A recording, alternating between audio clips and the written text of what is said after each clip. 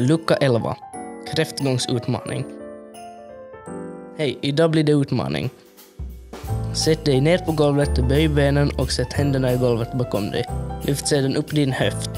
Det är utgångsläget för kraftgång. Enklare, gå framåt på golvet som en kräfta. Hur långt hinner du på en minut?